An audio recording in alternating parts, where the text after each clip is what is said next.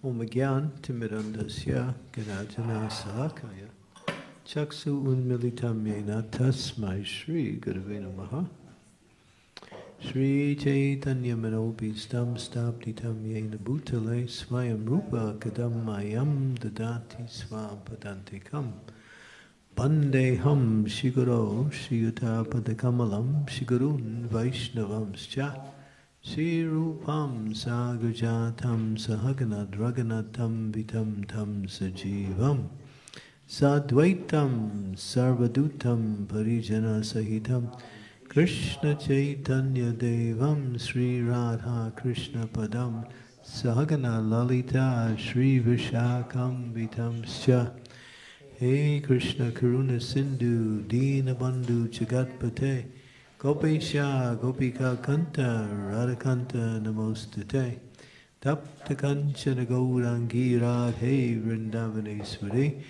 Rishabhanu Suti De Anamami Hari Priye. Vanchakalpa Tarubhischa Sindhu Evacha Patitanam Bhavanebhyo Vaishnavebhyo Namaho Namaha. Jai Shri Krishna Chaitanya Prabhu Nityananda Shri Advaita Gadadhar Sivasari Gaur Bhaktivinoda Hari Krishna Hari Krishna Krishna Krishna Hari Hari. Hari Rama Hari Rama Rama Rama Hari Hari. Namo Vishnu Padaya Krishna Prastaya Bhutale Shrimakti Bhakti Vedanta Swami Tinamine Namaste Saraswati Devi Gauravani Pacharine Nirvisesa Sunyavari Pasyatya Satarine. So reading from Bhagavad Gita chapter 10 verse number 9, the opulence of the Absolute. Om Namo Bhagavate Vasudevaya. Om Namo Bhagavate Vasudevaya.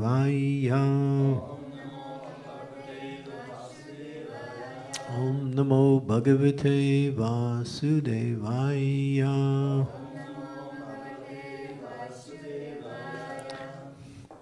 So, Machchita Makata Prana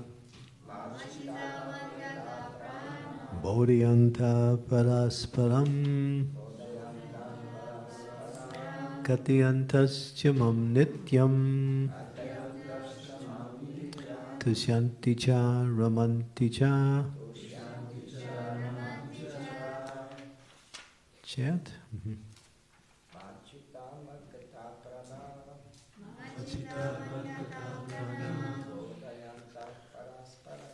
Bodhiyantas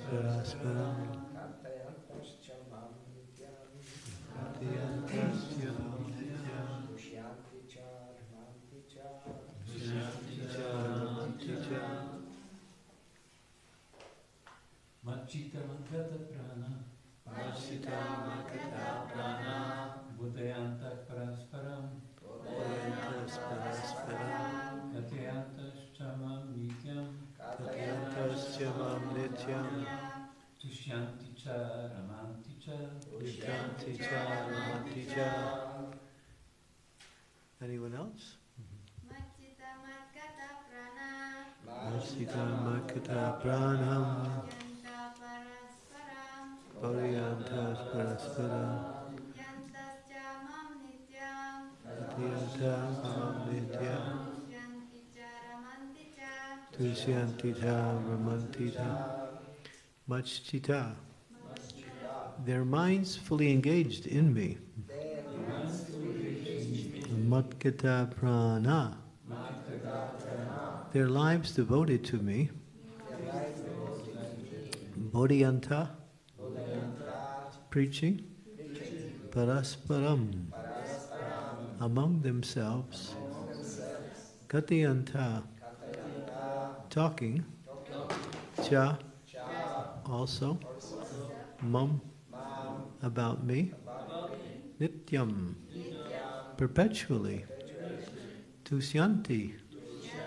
Become pleased. Cha. Also.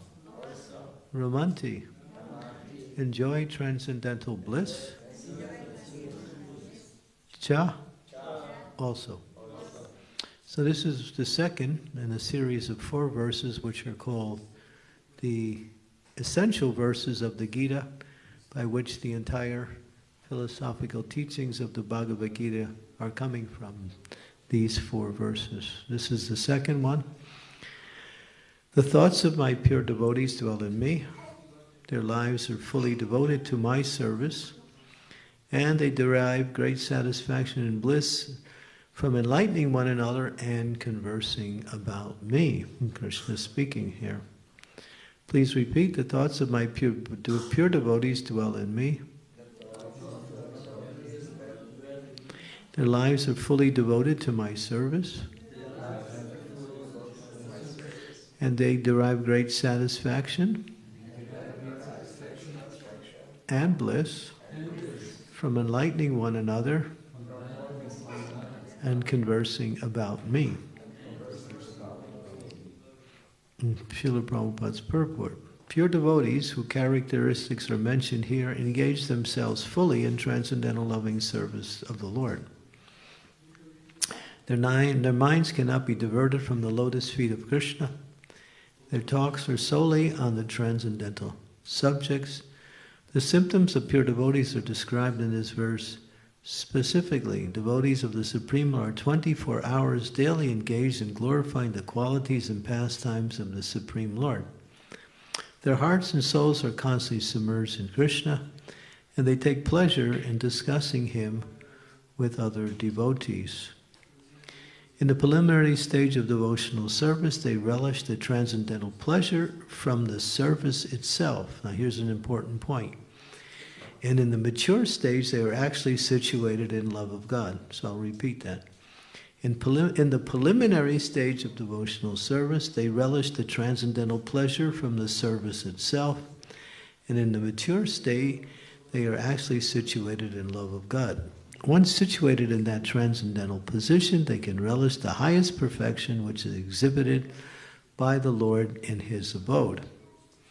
Lord Chaitanya likens transcendental loving service, devotional service, to the sowing of a seed in the heart of the living entity. There are innumerable living entities traveling throughout the different planets of the universe, and out of them there are a few who are fortunate enough to meet a pure devotee and get a chance to understand devotional service. This devotional service is like a seed, and if it's in, sown in the heart of the living entity, it goes on hearing and chanting Hare Krishna, Hare Krishna, Krishna Krishna, Hare Hare, Hare Rama, Hare Rama, Rama Rama, Hare Hare. That seed fructifies just as a seed of a tree fructifies with regular watering. The spiritual plant of devotional service gradually grows and grows until it penetrates the coverings of the material universes and enters into the Brahmajyoti effulgence in the spiritual sky. In the spiritual sky also, that plant grows more and more until it reaches the highest planet, which is called Goloka Vrindavan, the supreme planet of Krishna. Ultimately, the plant takes shelter under the lotus feet of Krishna and rests there. Gradually, as a plant grows, fruits and flowers, that plant of devotional service also produces fruit, and the watering process in the form of chanting and hearing goes on. This plan of devotional service is described in the Chaitanya Charitamrita Madhya Lila, chapter 19. It is explained there that when the complete plant takes shelter under the lotus feet of the Supreme Lord, one becomes fully absorbed in love of God. Then he cannot live even for a moment without being in contact with the Supreme Lord, just as a fish cannot live without water. In such a state, the devotee actually attains to transcendental qualities in contact with the Supreme Lord. The Srimad Bhagavatam is also full of such narrations about the relationship between the Supreme Lord and his devotees. Therefore, the Srimad Bhagavatam is very dear to the devotees as stated in the Bhagavatam itself. Srimad Bhagavatam Puranam Amalam Yad Vaishnavanam Priyam. In this narration, there is nothing about material activities, economic development, sense gratification, or even liberation. Srimad Bhagavatam is the only narration in which the transcendental nature of the Supreme Lord and his devotee is fully described. Thus, the self-realized souls in Krishna consciousness take continual pleasure in hearing such transcendental literature, just as a young boy and girl take pleasure in association. Hmm. Hare Krishna, Hare Krishna, Krishna Krishna, Hare Hare, Hare Rama, Hare Rama, Rama Rama, Hare Hare. Hmm. So here, this is where you, if you're looking for happiness in devotional service, this is where it's being explained, to hear and chant the glories of the Lord. Krishna is the manifestation of supreme excellence in all qualities. He is all beauty, He is all strength, He is all knowledge, He is all fame, He is all wealth, and ultimately He is also all renunciation. In the material world, everyone is trying to achieve one or more of these opulences to make their material life successful. People try for these things fame, wealth, try to become more beautiful, stronger. Uh, you know, and even those who practice some kind of spirituality find happiness in renunciation. But Krishna has all of these six qualities completely in full. And he performs his activities centered around these six qualities his beauty, his famous. He, what, what's, what's famous about Krishna? The Bhagavad Gita. He spoke it 5,000 years ago, it's still famous today. That's his fame.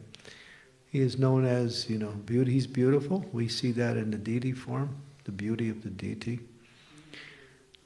And so, uh, and, you know, his strength, he showed that by lifting Govardhan Hill with a little pinky of his left hand. So we have so many of the activities of Krishna that center around these six qualities or characteristics. So, in order for us to find satisfaction, we have to find that in the activities of devotional service because then you find happiness, you find wealth, you find strength, you find beauty, knowledge, everything is there in Krishna. So when we hear and chant the glories of the Lord, we're also hearing about his characteristics and qualities, which are attractive because everyone is attracted to these six things. And therefore, Krishna has them in full, and he displays them in his pastimes.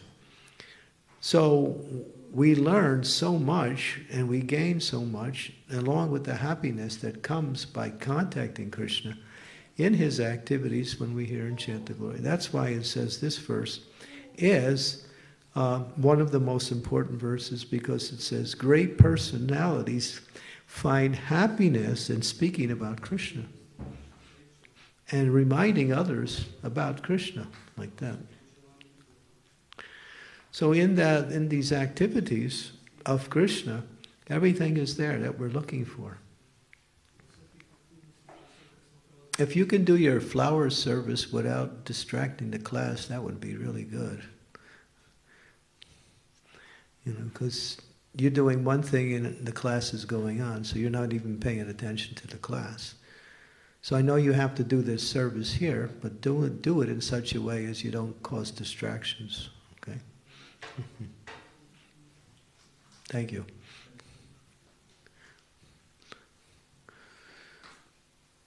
Um, so yeah, if we want to really know more about Krishna and all the happiness that comes from knowing about Krishna, this is the process. It gets right to the essence. That's why this verse is, is a very important verse. That devotees find everything they need in Krishna.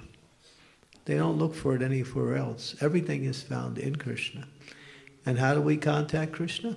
By hearing about him, chanting about him, remembering him, telling others about him, serving him, doing all our activities in connection with Krishna.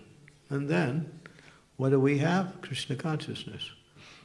and all of the happiness that comes with Krishna consciousness, which is automatic.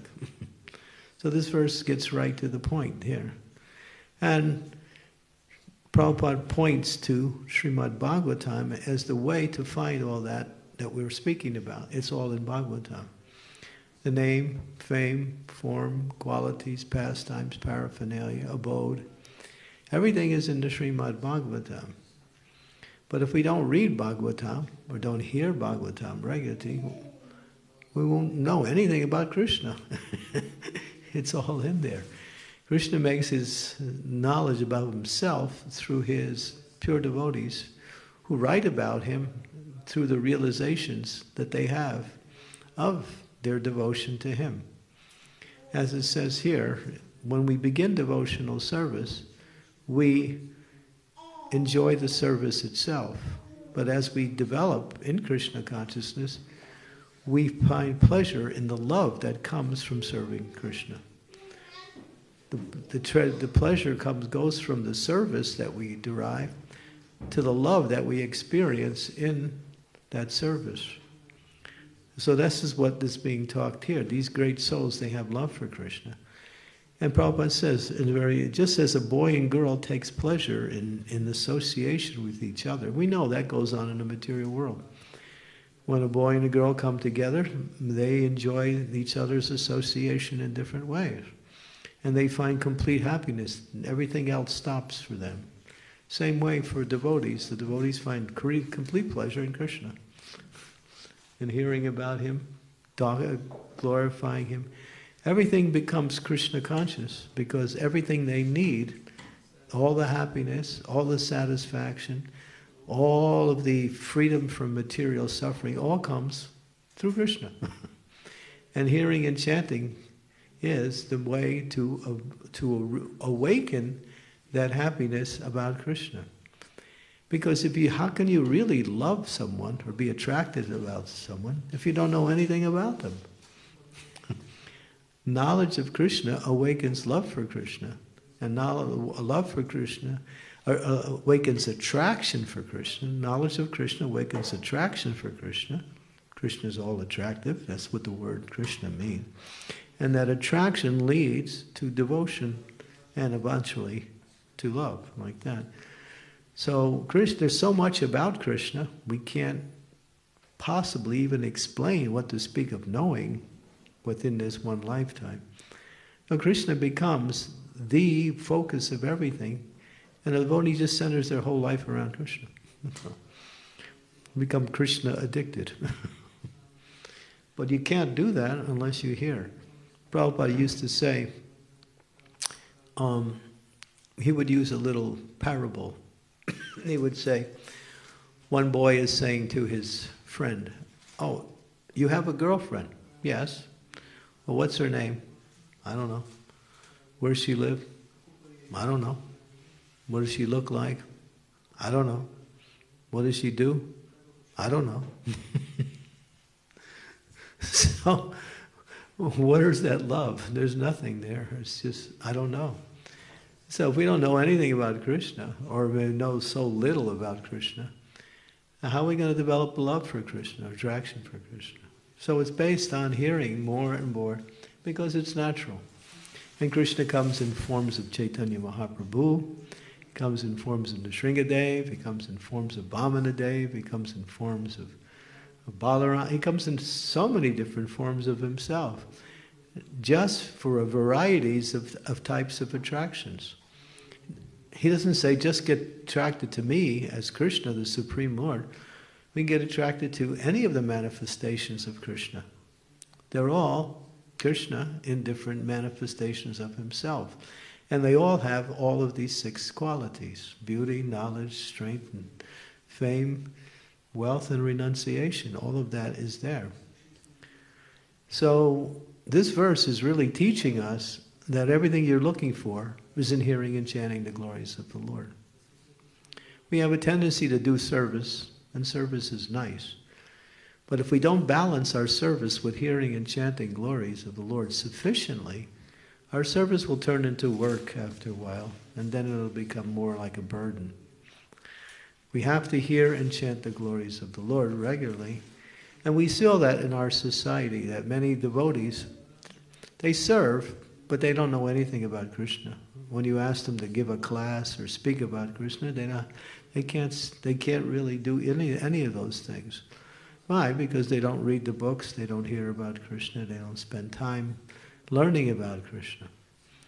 So Krishna doesn't need our service, but what attracts us, him, is our love. Of course, service is an expression of love, but unless we know about Krishna and his wonderful qualities, characteristics, pastimes, attributes, forms, that love won't really develop, won't really manifest. You can't love someone just because they're the big, the big, you know, just like somebody will say, well, you should love the president of the, you know, the country. Well, I don't know anything about him. Well, still, because he's the president, he's the most important person in the country, you still, you should honor him and love him. But that doesn't make any sense. Nobody will go along with that. you have to know about him, maybe meet him, find out what he does, how he how he deals with other people, what are some of his policies. Then you start getting, well, I like him, I don't like, you know, then you start getting an opinion. But if you say, well, Krishna is God and therefore you should love him, doesn't make sense. Or you should even obey him. You have to know about him. And that's where hearing and chanting of the glories of the Lord becomes. And that's where Bhagavatam comes.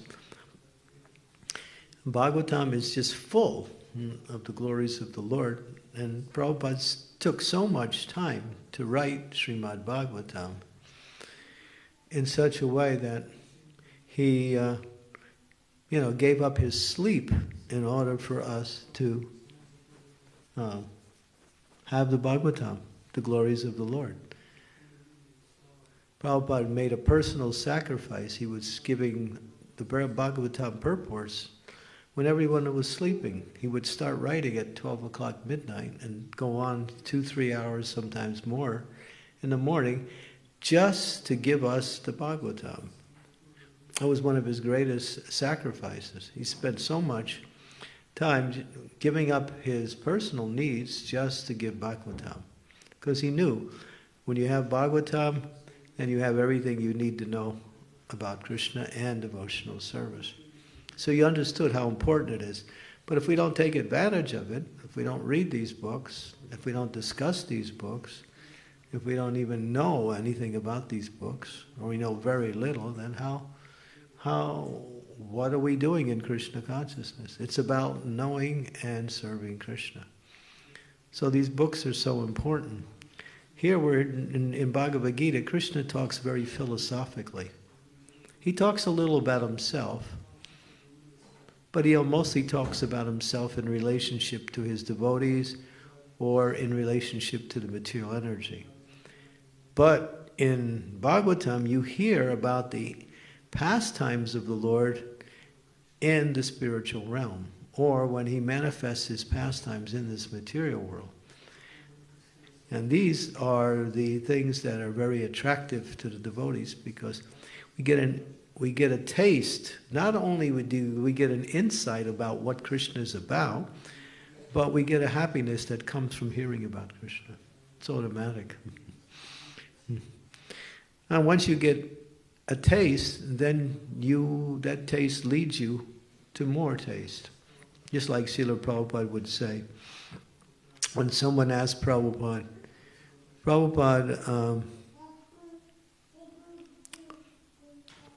what do you get from chanting Hare Krishna? And Prabhupada said, we get chanting from chanting. We get chanting from chanting.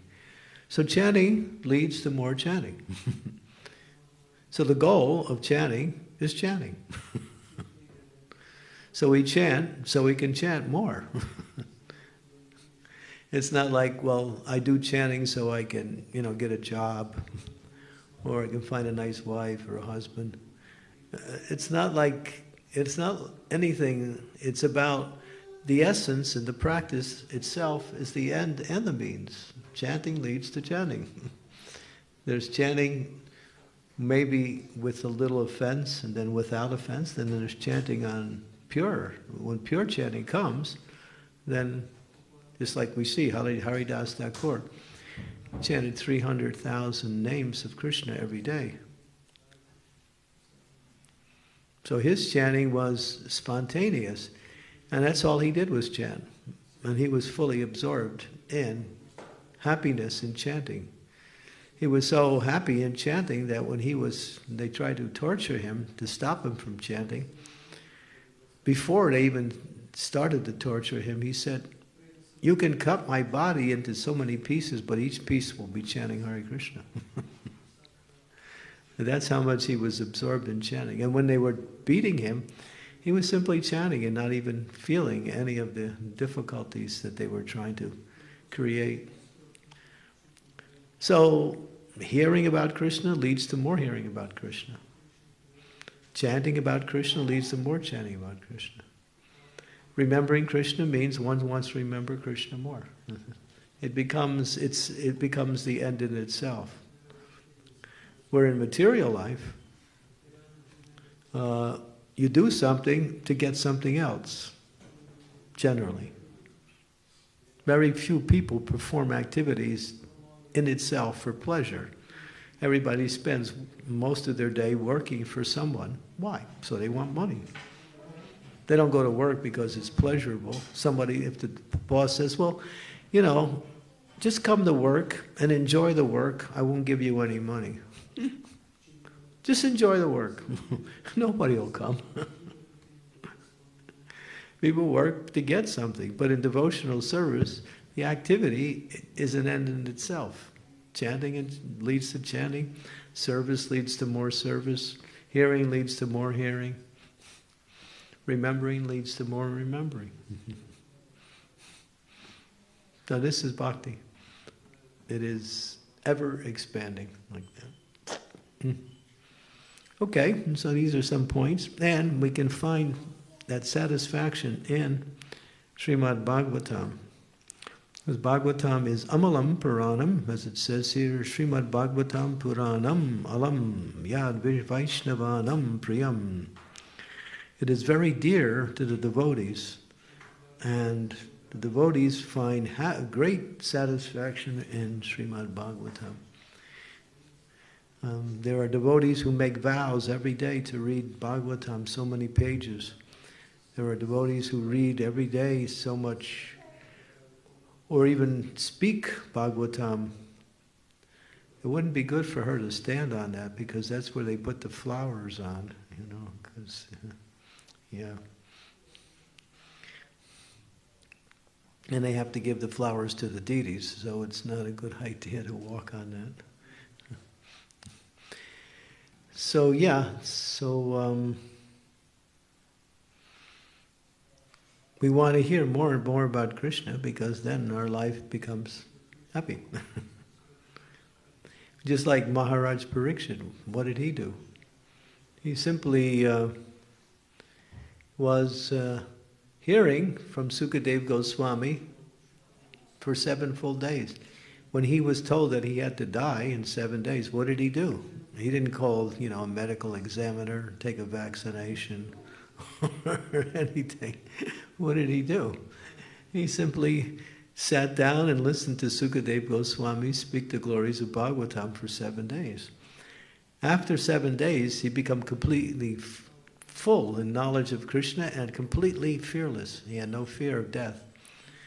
So much so that he was ready for death, and he accepted death as just the next stage in life. That's all.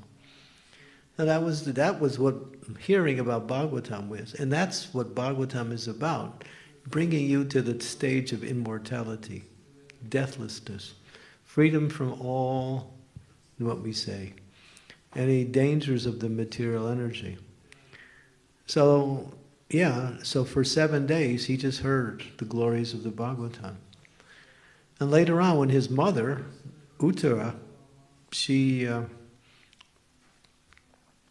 she uh, uh, wanted to hear what her son, Maharaj Pariksit, had heard from Sri Sukadev Goswami. She asked him, Can you tell me something? I'm your mother. You should give me something. Well, he said, Well, that's very nice, Mother, but I don't really have time because my time of my death is coming very close. But he did give her something, so he spoke a, a synopsis or a summary of the Bhagavatam in the form of Brihad Bhagavatamrita, which was later written down by Sanatan Goswami as a regular text. So he gave something in the form of a summary like that. But all but he was fully satisfied. Chaitanya Mahaprabhu, who is God himself, one of his favorite activities was to hear the pastimes of Prahlad Maharaj, Dhruva Maharaj, from yeah, Gadadhar Pandit. Gadadhar Pandit would read, and Lord Chaitanya would sit and listen to the Bhagavatam. He wouldn't even speak it, he would just listen. He's Bhagavatam himself. he is he is the Bhagavatam. He is Bhagavatam personified. But he was listening to Bhagavatam from Gadadhar Pandit because he was relishing the glories of his pure devotees. He wanted to hear about his pure devotees and their pastimes. So Lord Chaitanya was showing, not only by example, but he was, he, he was also deriving pleasure hearing the Bhagavatam. So if we don't really take Bhagavatam seriously, or the pastimes of the Lord seriously, then we'll be missing out, as Srila Prabhupada writes in the Chaitanya, as, Srila Prabhupada writes in the uh, Hare Krishna, Madhya he says, if we don't regularly hear and chant the glories of the Lord, he doesn't, he says, if we don't regularly read the books given to us about the pastimes of the Lord, then we'll simply return to eating and sleeping and then the, the happiness of transcendental life will be lost. Yeah. Will be lost. That's a verse. It's from Srimad Bhagavad no, Chaitanya Charitamrita Madhya Lila, chapter 25, verse number 278. In that verse, Prabhupada gets right to the point. If you don't read the books that I've given to you, you'll go back to material life, basically or you really won't be able to taste hardly any of the happiness in devotional service, which is susukham kartum avyayam. Like that. Okay, so thank you. We'll stop here and see if there's any comments or questions. Mm-hmm.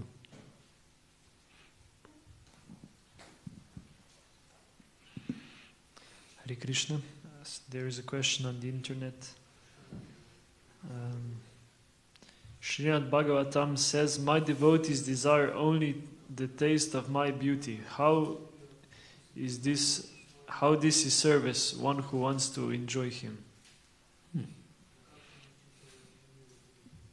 Well, that's one of the ways that it's called it's it's called this is Prabhupada's really referring to neutral devotional service. There you have Shantaras, Dasyaras, uh, Sakyaras, Vatsalyaras, and Madhuryaras. So in Shantaras, it's, what is it called? Vadikshasya, I think that's the term where sitting in front of the Lord in his transcendental form as Chaitanya Mahaprabhu or any of his forms and admiring the beauty of Sri Krishna and becoming enchanted and by that. That's that's bhakti also, but it's bhakti without the service attitude. Mm-hmm. Higher than that is to do the service attitude. So it's one form. Prabhupada's just mentioning one form of how one can appreciate Krishna. We come and we see the Lord is there in his deity form, so we actually take darshan and we appreciate how nicely the Lord looks, how he's dressed, how merciful he is, how available he is. That's bhakti. That's a form of bhakti.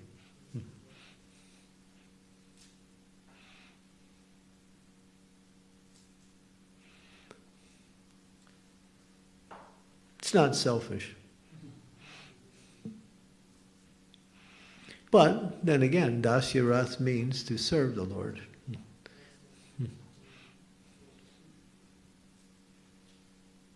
And that's the platform we have to come to. Prabhupada just mentioning one, one aspect of, our, of how bhakti works, that's all.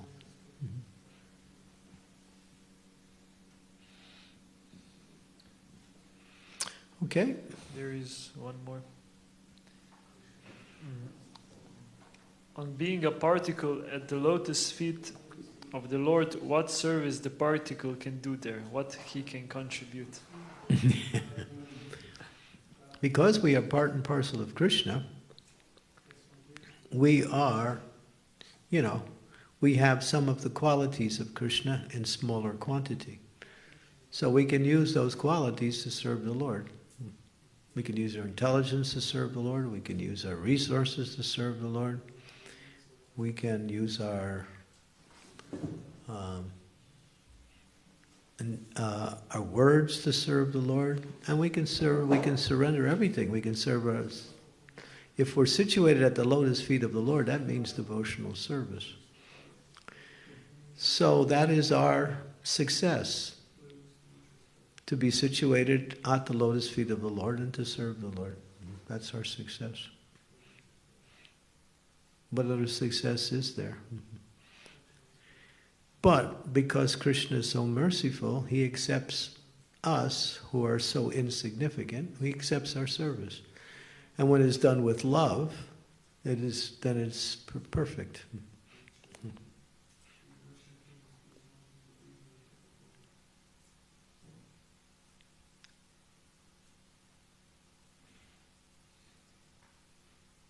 Krishna doesn't say, well, what does Krishna say? Patram pushpam phalam toyam yome bhakti panasyati taraham bhakti uparita asnami paryatat manaha. He said, just offer me a leaf, a flower, fruit, and water with bhakti, and I will accept. With bhakti. I, I, uh, you, before you put that plastic away, that little child was walking all over it. So it's not, I would say you would have to wash it first before you use it again. Yeah. Yeah. It can't be used for the do, for any devotional activities until it's washed. hmm Okay. Okay, so yeah. We are insignificant, but Krishna accepts our service when it's done with the desire to please Him. That's all. That's His magnanimity, that's His mercy, that's His kindness.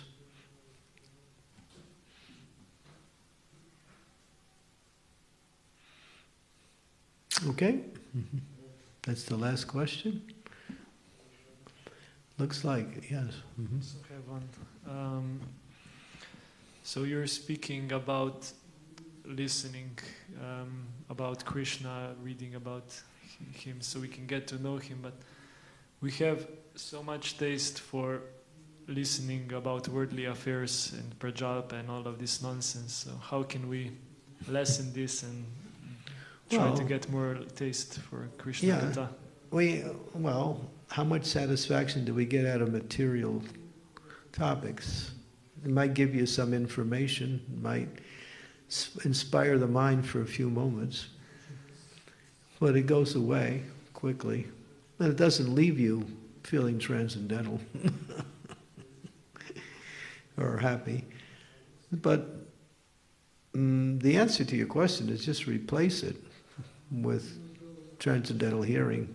That's all. And as that continues and increases, then we get a taste from that, and then we lose our attraction for these other things. We, we, because of our conditioning, we still have attraction for things in the material world. That's, due, that's just our conditioned nature. But we replace that with our spiritual nature, hearing about Krishna, devotional service. And it's interesting, even if you like politics, even if you like economics, even if you like medicine, Prabhupada spoke on, on all those things. He spoke on war, he spoke on Ayurveda, he spoke on astrology, he spoke on history, he spoke on so many things. So, both in Prabhupada's books and in his lectures, especially, especially his morning walks, talks about a variety. Talks about money, talks about economics, talks about governments, a lot about politics. He's, he's giving a lot of talk about politics, about the four varnas and their position in society and how society is uh, you know, organized today. So even if you you don't have to necessarily give it up, we call it uh, it. Krishnize that those political, those material topics. That's all.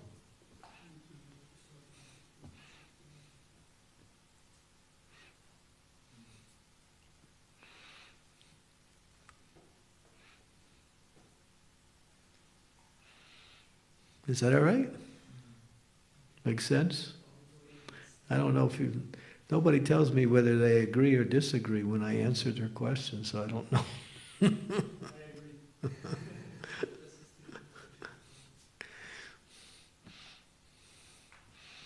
okay, so anything else? Did you take notes on the class? Good, thank you. All right, we'll stop here. We can end a little early tonight because everybody's engaged in other things. So thank you very much. Srila Prabhupada ki jai. Bhagavad Gita ki jai. Mm-hmm.